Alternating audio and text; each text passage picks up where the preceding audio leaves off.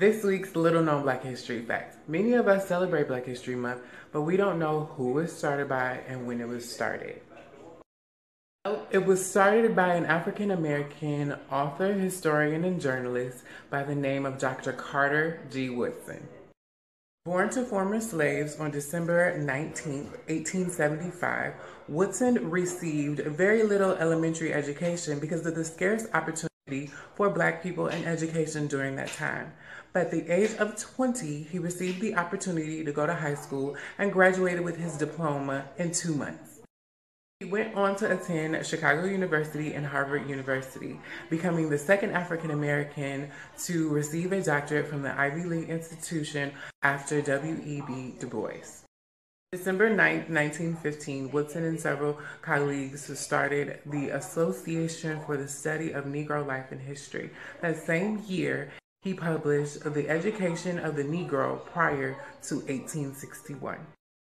Woodson worked tirelessly throughout his career to preserve Black American history. He accumulated countless artifacts and publications by African American people. He felt that we were misrepresented and or ignored in our American history and felt that everyone should have a fair chance at researching what truly Black Americans do to contribute to this country. In 1926, Dr. Carter G. Woodson started Negro History Week. It was to be celebrated the second week of February to coincide with the birthdays of Abraham Lincoln and Frederick Douglass.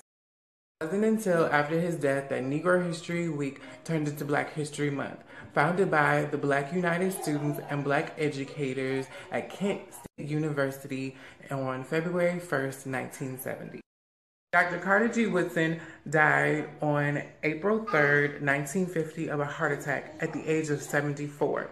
He left behind great publications such as The History of the Negro Church and The Miseducation of the Negro. Thanks to Dr. Carter G. Woodson, we celebrate Black History Month every February. But we don't just have to celebrate it in February because we can celebrate it every day of every year. There are great representations of black people all over this country and all over this globe. But this has been today's little known black history fact. I thank you guys so much for watching videos this month. I hope you had a wonderful Black History Month. You guys have a great day. Bye.